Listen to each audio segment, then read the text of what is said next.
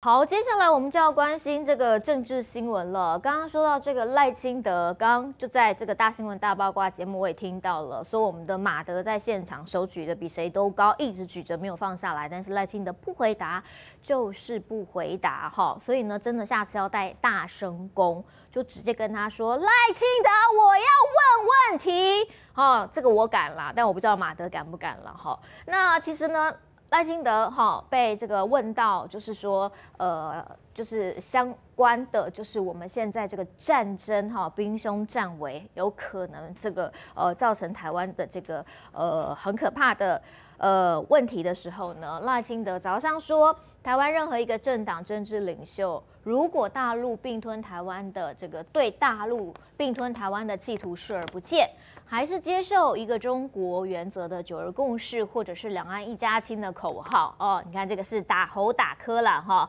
那九九二共识，中国原则呃，这个这个是侯讲的嘛，两岸一家亲是柯讲的嘛哈。那他就说，甚至认为借由一纸和平协议就有办法得到和平，这是自欺欺人、误人误己。但是呢，他也不敢再讲台独两个字，不是台独金孙吗？好，不是这个呃台独的务实工作者吗？但是怎么到了选举到现在为止，他真的没有讲出台独这两个字哈。所以这就是赖清德，大家看清楚他的真面目哦哈，就是他心里想的跟他嘴巴说的不见得一样。但是老实说，这个以巴战争确实让民众非常的有感，因为这个战争就是说开始就开始，哈马斯一个偷袭，以色列根本来不及防备，那这有没有可能变成？接下来我们的情况不知道，所以我就有一个民调呢，就去问了高中生。好，高中生接下来因为呃马上可能这个紧接着就要当兵了哦，所以就问了一个高中生上报去做的一个民调，说高中生对于台湾未来四年面临被迫战争的可能性，请问各位高中生，你觉得有可能吗？好。非常有可能的有百分之十二点一啊！假设我家的小孩念高中，他应该就是这一块的了哈，因为我有跟他讲，他觉得非常不可能的有十一点一哦，这个勇敢的台湾人哈，有一点可能的百分之四十五点四是最多的，不太可能的是百分之三十一点三哈，所以呢，呃，整体来讲还是有过一半的高中生觉得。他们可能面临被迫哦要上战场，会面临战争的一个可能性哦。看到这个，至少还有一半的高中生有这样的警觉，我个人觉得欣慰哈。我很怕的是，所有的高中生都觉得没事儿、没问题哈，因为现在的这个教科书教的就是我们这个台湾哦没有问题，很安全，然后美国会保护我们哈，真的吓死人的哈。这个课本你看到，你绝对会吓死的啦哈。好，但是呢。呃，我们台海之间其实还是让大家觉得很难放心，为什么呢？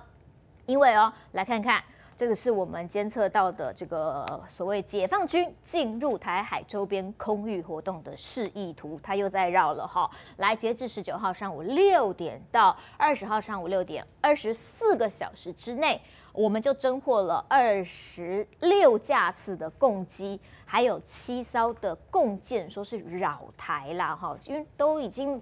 慈母无中线了嘛。那美国的国防部十月十九号还公布了一个大陆军力报告，指出二零二二年中共解放军军机扰台的次数大幅。增加比前一年增加了有百分之七十九，这是一个很大的数字，百分之七十九。所以这是美国国防部公布的，所以可见美国也知道，哈，美国都也知道这个。中中共的这些飞机也好啊，船舰也好，不断的在骚扰台湾。但是呢，你真的相信美国会来保护台湾吗？哈，如果你相信学校老师这样跟你讲，那我就跟你讲说，千万不要相信。但你也不要呛老师，免得到时候被当掉。哈，来，呃，侯友谊讲啊，两岸不对话，如何建构信任的基础？B 站是总统的责任，绝对不能投给台独工作者赖清德，那不是 B 站，是引战。好。那这个国家领导人要负起保护孩子的责任呐，而且要，而且还要负起教导孩子的责任，告诉孩子的就是说，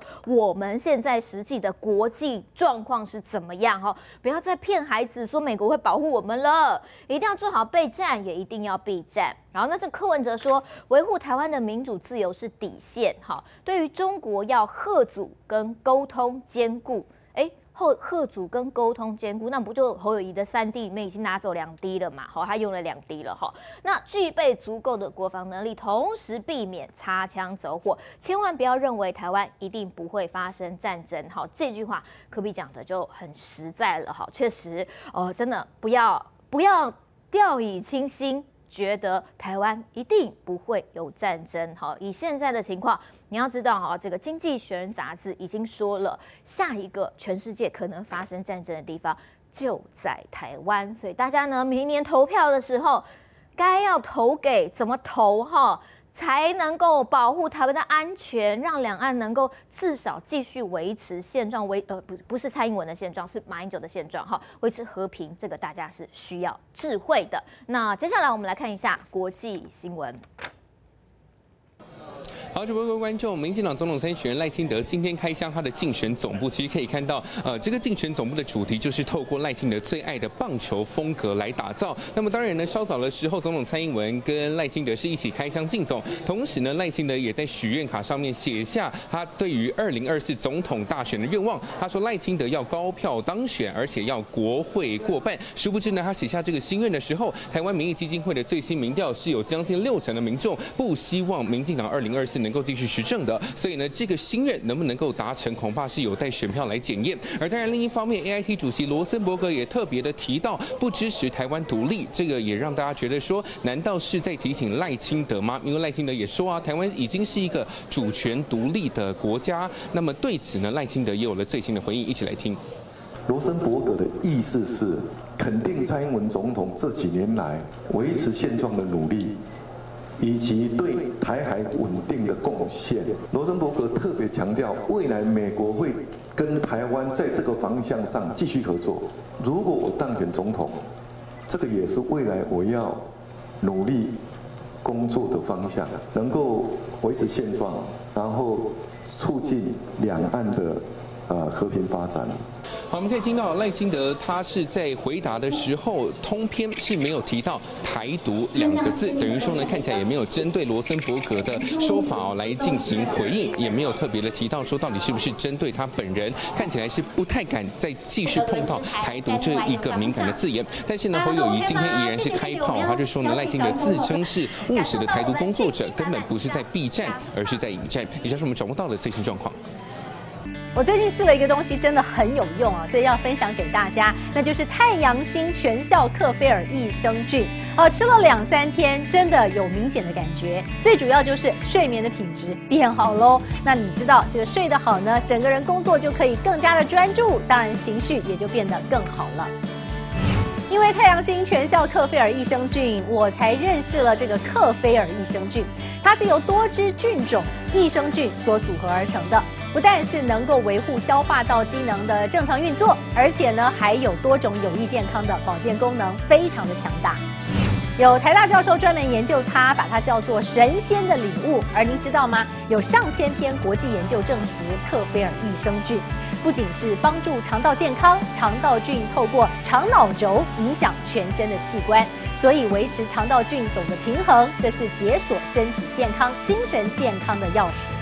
对于帮助睡眠、维持好情绪，真的是很有感。也因为这不是药。有季节敏感、代谢困扰、关心恶性细胞风险的好朋友们，选择太阳星全效克菲尔益生菌，做好日常的保养，身体轻轻松松，没有负担。每日克菲尔，时刻美好，Good feel feel good，请上快点购为健康下单，也记得输入推荐码，有额外的折扣哦。